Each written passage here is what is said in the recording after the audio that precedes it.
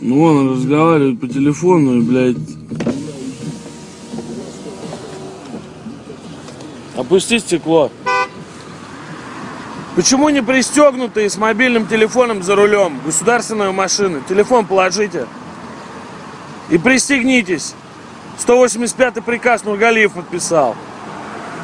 Благодарствую. Five seconds later, the police opened fire with AK-47s. Meanwhile, this good Samaritan in Taiwan throws the trash back where it belongs. Ugh, those they're garbage.